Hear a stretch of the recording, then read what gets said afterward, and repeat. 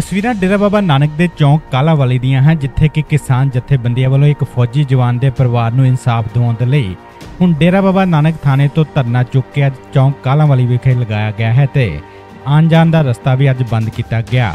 ਇਸ ਮੌਕੇ ਕਿਸਾਨ ਆਗੂਆਂ ਨੇ ਕਿਹਾ ਹੈ ਕਿ ਮੂਲੋਵਾਲੇ ਦੇ ਫੌਜੀ ਜਵਾਨ ਦੇ ਘਰ ਦੇ ਵਿੱਚ ਚੋਰੀ ਹੋਈ ਸੀ, ਜਿਸ ਤੋਂ ਬਾਅਦ ਦੋ ਜਣਿਆਂ ਦੀ ਗ੍ਰਿਫਤਾਰੀ ਹੋਈ ਸੀ, ਜਦਕਿ ਦੋ ਦੋਸ਼ੀ ਅਜੇ ਵੀ ਫਰਾਰ ਹਨ। ਇਸ ਤੋਂ ਇਲਾਵਾ ਜੋ ਪਰਿਵਾਰ ਦਾ ਸੋਨਾ ਚੋਰੀ ਹੋਇਆ ਸੀ, ਅਜੇ ਤੱਕ ਪੁਲਿਸ ਵੱਲੋਂ ਪਰਿਵਾਰ ਨੂੰ ਨਹੀਂ ਦਿੱਤਾ ਜਾ ਰਿਹਾ ਹੈ, ਜਿਸ ਤੋਂ ਬਾਅਦ ਹੀ ਇਹ ਧਰਨਾ ਪ੍ਰਦਰਸ਼ਨ ਕੀਤਾ ਜਾ ਰਿਹਾ ਹੈ।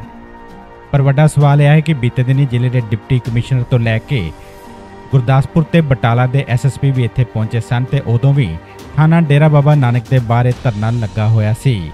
ਇਸ ਦੇ ਬਾਵਜੂਦ ਵੀ ਅਜੇ ਤੱਕ ਸ਼ਹੀਦ ਫੌਜੀ ਜਵਾਨ ਦੇ ਪਰਿਵਾਰ ਨੂੰ ਇਨਸਾਫ ਨਹੀਂ ਮਿਲ ਰਿਹਾ ਹੈ। ਮੈਂ ਗੁਰਬਚਨ ਸਿੰਘ ਖੋਦੇ ਬੇਟ, ਭਾਰਤੀ ਕਿਸਾਨ ਯੂਨੀਅਨ ਏਕਤਾ ਉਰਾਹਾ ਬਲਾਕ ਪ੍ਰਧਾਨ ਹਾਂ।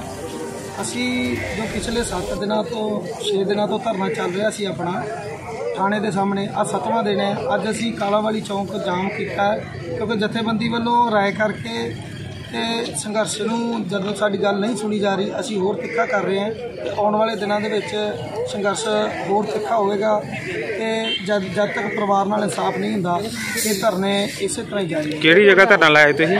ਅੱਜ ਅਸੀਂ ਕਾਲਾਵਾਲੀ ਚੌਂਕ ਜਾਮ ਕੀਤਾ ਹੋਇਆ ਹੈ ਤੋਂ ਸਾਡਾ ਲਗਾਤਾਰ 6 ਦਿਨ ਤੋਂ ਧਰਨਾ ਥਾਣੇ ਦੇ ਸਾਹਮਣੇ ਥਾਣਾ ਡੇਰਾ ਬਾਬਾ ਨਾਨਕ ਦੇ ਸਾਹਮਣੇ ਚੱਲ ਰਿਹਾ। ਤੇ ਕੋਈ ਪ੍ਰਸ਼ਾਸਨਿਕ ਅਧਿ- ਅਧਿਕਾਰੀ ਤੁਹਾਡੇ ਕੋਲ ਪਹੁੰਚਿਆ ਅਜੇ ਤੱਕ? ਪ੍ਰਸ਼ਾਸਨ ਸਿਵਾਏ ਇਨਸਾਫ ਤੋਂ ਦਿਵਾਉਣ ਦੀ ਗੱਲ ਤੋਂ ਇਹੀ ਕਹੀ ਜਾ ਰਿਹਾ ਕਿ ਭਰੋਸਾ ਭਰੋਸੇ ਤੋਂ ਸਿਵਾਏ ਕੋਈ ਗੱਲ ਨਹੀਂ। ਤੇ ਭਰੋਸੇ ਤੇ ਪਹਿਲਾਂ ਵੀ 5 ਦਿਨ ਦਾ ਭਰੋਸਾ ਦੇ ਕੇ ਜਦੋਂ ਡਿਪਟੀ ਸਾਹਿਬ ਨੇ ਇਹ ਧਰਨਾ ਉਠਾਇਆ ਸੀਗਾ ਤੇ 5 ਦਿਨ ਤੋਂ ਬਾਅਦ ਅੱਜ 25 ਦਿਨ ਹੋ ਗਏ ਨੇ। ਕੋਈ ਵੀ ਪ੍ਰਸ਼ਾਸਨ ਵੱਲੋਂ ਕਾਰਵਾਈ ਨਹੀਂ ਕੀਤੀ ਗਈ। ਇਹਦੇ ਵਿਰੋਧ ਵਿੱਚ ਅਸੀਂ 6 ਦਿਨ ਪਹਿਲਾਂ ਮੋਰਚਾ ਜਿਹੜਾ ਪੱਕਾ ਮੋਰਚਾ ਲਗਾ ਦਿੱਤਾ ਹੈ ਥਾਣਾ ਡੇਰਾ ਬਾਬਾ ਨਾਨਕ ਦੇ ਸਾਹਮਣੇ ਉਹ ਚੱਲ ਰਿਹਾ ਸਾਡਾ। ਜਿਹੜਾ ਚੌਂਕ 'ਚ ਅੱਜ ਧਰਨਾ ਹੈ ਕਿੰਨੇ ਦਿਨਾਂ ਦਾ ਸੀ? ਇਹ ਫਿਲਹਾਲ ਅੱਜ ਦੇ ਦਿਨ ਤੱਕ ਹੀ ਹੈ। ਸੋ ਆਉਣ ਵਾਲੇ ਟਾਈਮ ਦੇ ਵਿੱਚ ਰਾਇ ਕਰਕੇ ਜੋ ਕਿ ਸੰਘਰਸ਼ ਨੂੰ ਹੋਰ ਤਿੱਖਾ ਕੀਤਾ ਜਾਵੇ।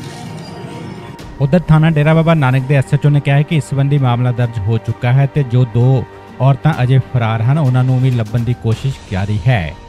ਡੇਰਾ ਬਾਬਾ ਨਾਨਕ ਤੋਂ ਕਵਲਜੀਤ ਸਿੰਘ ਦੀ ਰਿਪੋਰਟ ਪੰਜਾਬ ਟੁਡੇ